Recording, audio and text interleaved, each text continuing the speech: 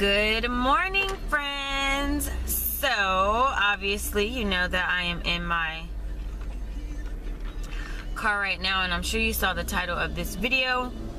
CVS changes in their coupon policy. I'm not quite sure what I'll name the video, but it's something to do with CVS. Um, and them changing their coupon policy. Um, I wish that I could, wait, I don't know if I will be able to actually do this. Um, no, I'm not. If I stop at a red light, I will read you my phone. But um, my phone yesterday, my messages on my DM, my Instagram, my comments on my uh, YouTube, on a lot of my videos that I have, my comments were blowing up about the new coupon policy and I'm sure a lot of you are aware that there is a email floating around about the changes that are coming and all of that. My thing, or let me see how I put this. My views to that is basically, I don't care. And if you're wondering why are you being so nonchalant about it, the reason is, is for me, I don't read everything that comes on the internet. I can't because a lot of stuff that comes up is not true. Ooh, the sun is shining right in my eyes. And I basically think about, feel about it is I live for today. I think about tomorrow. But I don't worry about things that I have no control over. So I'm not stressed about the CVS policy changes. I do not have a confirmation on the email that is floating around. If you saw it on Instagram or Facebook or somebody messaged you the picture, I have no confirmation on that. What I did do is call my reliable source at CVS. I can confirm to you a lot of people are asking me, is CVS not accepting expired coupons anymore? Um, what's going on with the email that's going on? I will tell you what I heard firsthand yesterday, or I'm sorry, yesterday's Monday, on Sunday when I went shopping. I was shopping at a different CVS store. That's when I went and got the Viva. I'm sure you watched that video as I was getting my coupons ready, I'm sorry if the sun the sun is blocking me so bad right now. Um, I was standing at the counter getting my stuff ready to um, check out, and as another lady was checking out, she was talking about her ECBs and I could just overhear their conversation. And the cashier did her did tell her oh we'll take it. And she said something about coupons. I couldn't hear. And she said oh it's okay ma'am. Um, we take expired coupons. So a lot of people say that their stores don't take expired coupons. It's it's each store. So all of these policies that are coming up, I believe that each store has a different policy that is going on right now. So when you read something, it may necessarily be that that person got their email for their store, and maybe eventually CVS is going to change everything for all stores. But I know if I heard yesterday, and that's at a store that I've never shopped at, I heard a cashier say, it's okay, ma'am, we take expired coupons I retain that knowledge, okay, for future references. If my store is out of something, I know which CVS that I'm going to go to if I happen to have an expired coupons. I'm not saying that I'm telling you to use an expired coupons, but in my area, a lot of the stores do take them. Now, we're not talking about a coupon that's two, three weeks expired. We're talking a couple of days expired. And wow, the lighting totally changed. Thank you, because the sun was totally in my eyes from the direction I was coming from. So, each store is a little bit different. I would tell you, don't get panicked about it. You know, um, CVS, is a, CVS is a store that I've mastered as a couponer. And if something's change in the future, that just means that I'm going to master another store. I am very capable of couponing at other stores. I just prefer CVS because of their coupon policy and their ECBs that they give out. I I personally believe that nothing is going to change. I could be wrong, but what I can confirm to you right now, when I I called and spoke to my reliable source, and this is what he told me. I asked him what is going on. There's an email floating around. I basically read to him what the email said. He told me he's like I haven't had that issue. What changes that are going on in our store is that when people come in with multiple CVS cards, I'm guilty of that. We can't do multiple transactions at the counter when you come in with several different CVS cards. That doesn't affect me because I don't need to do 10 transactions at the counter. What I can do, get what I need to get, go to my car, go put that stuff away, go back in CVS and shop again or go to next day or go to a different CVS. That doesn't affect me. The next thing he said was people that come in with an entire group and an entire family and all of their kids have CVS cards, they are not going to allow that. I'm not guilty of that, but I did see it when I was shopping the other day. When I took you guys on that CVS trip with me, there was a family that went in there. They had five kids that were holding hands my husband actually did record it. I think I cropped, I edited out of the video, and they all walked in together, and they said that they are not going to allow that anymore. And another thing was was um, coupon overriding. If a cu- they are only allowed to override two coupons if your coupon does not scan. And when that happens, they have to call the manager over. The manager has to scan their card, and then it's going to be up to the manager to allow the coupon.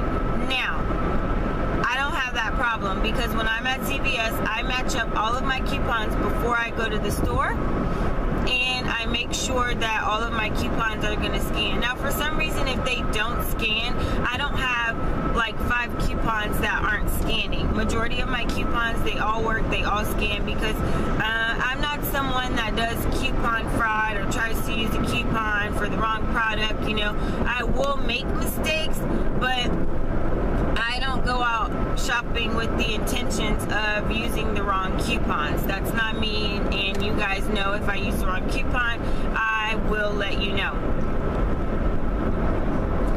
And next up, the thing that's going around, if you aren't aware, basically what it's saying, it's basically making the Dollar General rule. At Dollar General, you have to reach the total even after coupons before they will take off the $5 off of 20 or whatever coupon um, that they're giving you store coupon.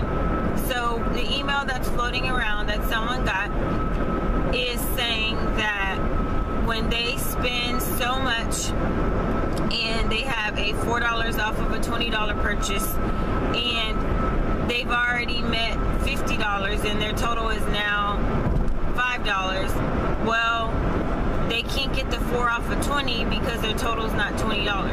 It has to still be $20 even after coupons. That is what is floating around. And I cannot confirm whether that is true or not. I am not saying that the sources that you are getting this from are not reliable sources because I think they're great sites. I just feel like I don't believe everything that comes off the internet until it happens to me. Once it happens to me, then I will confirm. Hey guys, I want you guys to know I went to CVS today and in my area this is what happened. So it does not affect me. I'm not in the least bit worried about it. I'm going to continue to shop at CVS. I do shop at other stores, but CVS is just my main store. So it does not affect me. I'm not worried about it. I'm actually in the same place that I was yesterday.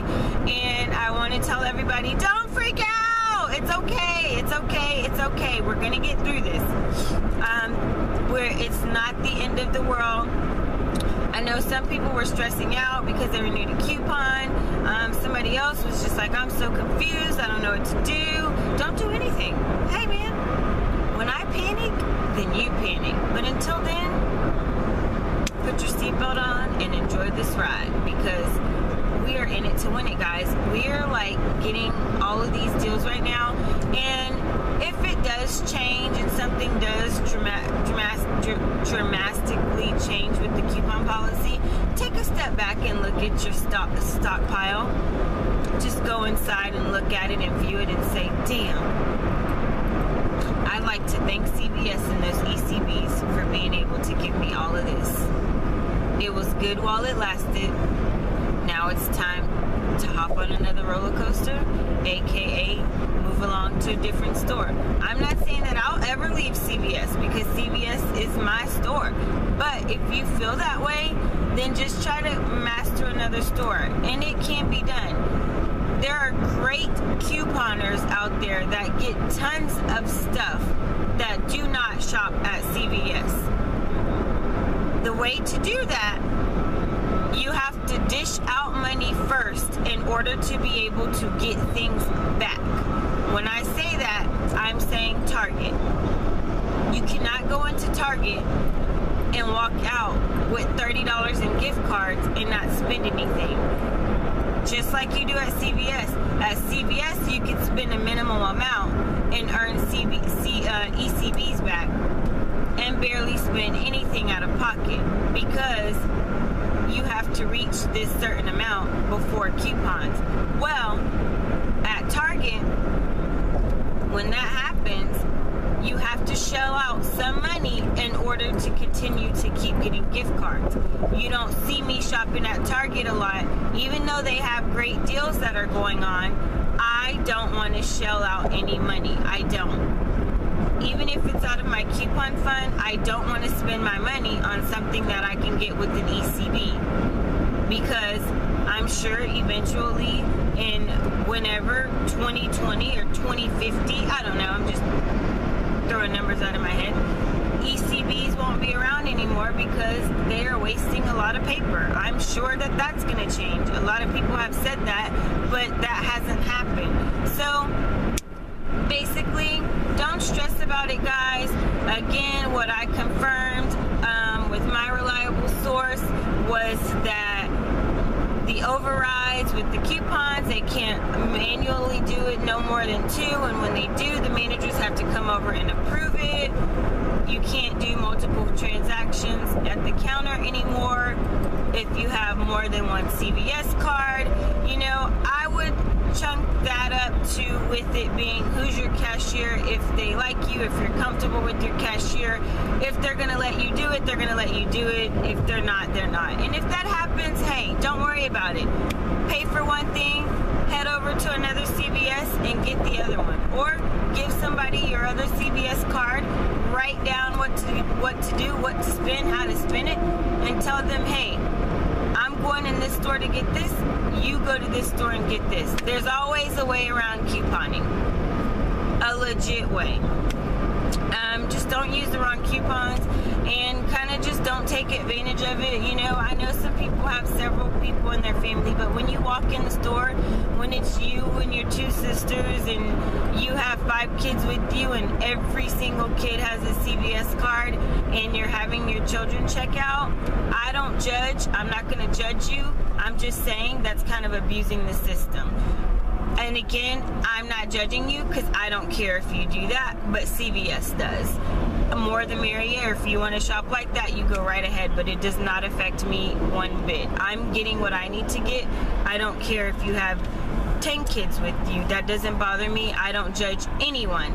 But I know at my store, they're not liking that anymore. So again, I do shop at two CVS's. I shop at a CVS by my job Monday through Friday. When I don't get what I need to get on the weekends at my normal CVS by my house, I shop Monday through Friday during my lunch break at the CVS by my job. And I have done at least two transactions at the register. I don't make myself so obvious and I don't hold up lines. So there are times that I do go back out to my car, put things away and tell them I'll be right back. That's not going to change with me. I'm going to continue to do the same thing.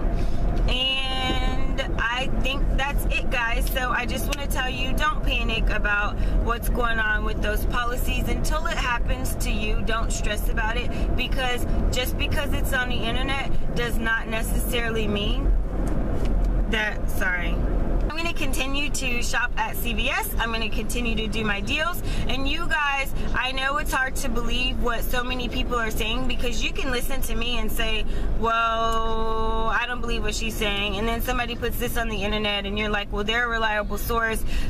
They have a whole bunch of people that follow their websites. And like I said, I think those sites are great sites. I just don't happen to um, get affected or let it bother me because it has not affected me in any way at all. In couponing oh I need gas. It has not affected me in any way so I'm not gonna worry about it. So I hope you guys enjoy your